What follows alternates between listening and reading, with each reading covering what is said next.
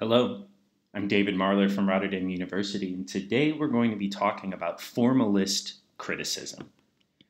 And in this lecture, we're going to be talking about what formalist criticism is. It's also known as formalism and new criticism. We're also going to talk about the use of formalism to analyze texts. We're going to talk about when formalism is important and why it's no longer really popular or used. And you will use formalist criticism to analyze a text that we will study. Before that, I'm going to actually begin with a small history of formalist criticism. It goes back to early 20th century Russia. And in the early 20th century Russia, so around 1915, 1918, the same time that the revolution was going on and the Bolsheviks were taking over Russia and creating a Soviet communist state, a group of academics decided that they wanted to turn literary studies into a literary science. And the way that they wanted to do this was by focusing on the language that is on and used with text. And the reason why they wanted to do that was to determine a type of aesthetic. They wanted to see what was beautiful in a text and what language was used and how language could be used to make a text beautiful. And with this, they wanted to come up with an idea to understand why literature was beautiful, why poems were beautiful. This is often also called poetics. Now, the idea swept through Europe and it became extremely popular in the United States around the 1940s after the Second World War.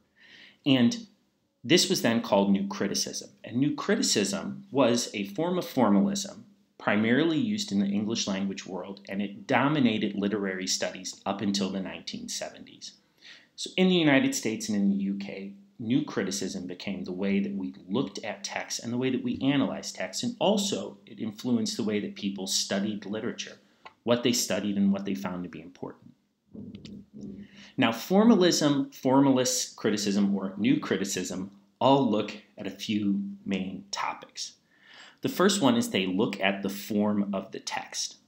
And they do this by ignoring outside sources. So when you're doing a formalist analysis of a text, you're not looking at author, you're not looking at history, you're not looking at the emotions that it gives the reader, you're not looking at the society that produced it, etc. You're only looking at the text itself, the text as this sterile object that you are going to analyze. And the things that you analyze are primarily issues like style. So, how was it written? What words were used? What language was used? You can also look at narration. So, was it chosen to be written in the first person, so I or we, or was it written in the third person? Was this narrator, is it limited? Is it omnipotent, etc.? There's also something called poetics, which is looking at the structure of a poem. This is looking at things like meter, rhyme scheme, whether there's alliteration, which is kind of rhyming, but at the first syllable as opposed to the last of a word. And by doing this, you could look at a poem and see what makes a poem beautiful. What are the rules? You also want to look at aspects of text like literary devices. These are things like tropes or figurative language, or the things like similes, metaphors, anaphora, different ways different techniques that writers use when they're writing a text. You then want to look at structures. So let's say that we have a novel where every single chapter is written from someone else's perspective. That's a formalist way of looking at how a text should be written. You also want to look at the structure of poems. So, what makes a villanelle different from a sonnet? And finally, new, uh, new criticism and formalism and formalists, they were extremely obsessed with aesthetics and they were coming and trying to understand what makes a text beautiful or what makes a text ugly. Now, what we're going to do today is we're going to look at a select paragraph from the very first page of a text that we're going to read called The Handmaid's Tale by Margaret Atwood. And from this, we're going to look at page one from The Handmaid's Tale. And what I want you to do really quickly is pause this slide and read the text. Once you're finished, you're going to talk or think about different aspects of the text. So I want you to think about aesthetics.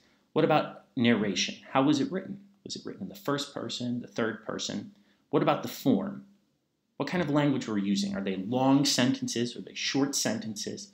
Do the sentences all begin in a certain way? You can even look at things like punctuation. Are there colons, semicolons, commas, apostrophes, etc.? Look at imagery. So, what words are being used and what kind of images do they conjure up in your brain? And finally, you want to focus on language. What are the words that are being used? So, pause this right now, read this text. You can also find it on page one of your novel, and then we're going to look at my very short analysis of this chapter.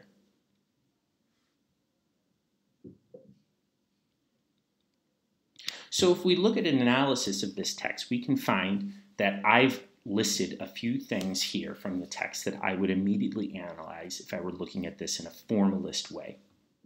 The first one that I notice when I'm reading any text is what kind of narration do we have?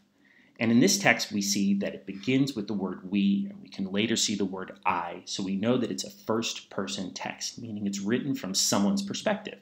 And we can assume from the title that this is The Handmaid's Tale, and if we were not so formalist, we could also see that this is a reference to Chaucer's uh, Chaucer's The Canterbury Tales, where each person in the Canterbury Tales had their own tale. Then what I started looking was the use of the semicolons, which are green, but actually has to deal with many independent clauses.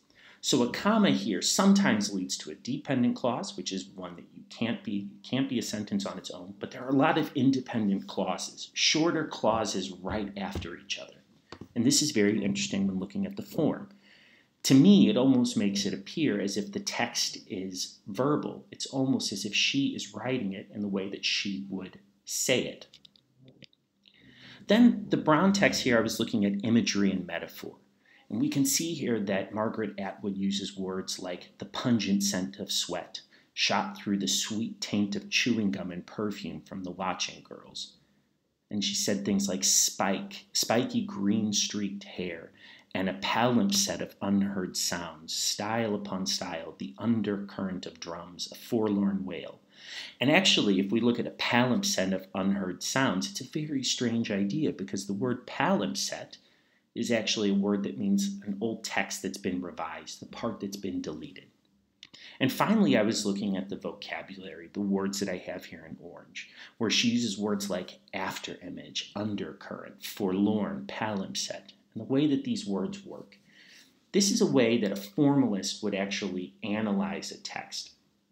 But it's also possible to take one theme from a text, for instance, the narration or the use of the independent clause or the use of vocabulary or the use of imagery and metaphor. And this is often in the academic world the basis of one analysis. So you wouldn't have to analyze everything. You can also choose one thing that you want to analyze. You can make that part of your discussion. Now, in the 1970s, as I showed earlier, formalism and new historicism became less and less popular.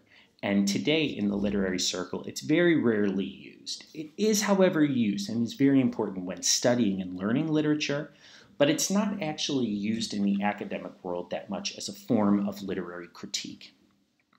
And one of the big reasons is because you cannot ignore the outside world. So in the 1970s, especially the feminists, but also deconstructionists and sem- people who studied semiotics started saying, well, you can't actually study a text and ignore the author, ignore the history, ignore society, ignore things like sociology and feminism and queer studies. And because of this, new historis or new criticism became less and less popular. And we have that to thank to two guys from France, very important continental philosophers called Jacques Derrida and Roland Barthes. Now, Jacques Derrida was someone who believed in deconstructionism, and Roland Barthes was, the, was a forefounder in something called semiotics. And this isn't important because you wouldn't have to know this for the test, but it is important to understand that the way that they've taken formalism and the way that they've changed it. These two French authors believed that language was the most important part and that the art of literature actually happens in the reader. So when I say a word like mother or dog or grass, that those words have a meaning to you because they conjure up a feeling in your head. And so with this study, what we call semiotics, it's important to look at the effect that the text has on the reader and the way that language plays a role in that. And we call that semiotics, which is the finding of meaning in language. So this is an important thing to th uh, term to think about, but it's also something that you can use in the future when you're looking at literature. What is the effect that the work has on the reader?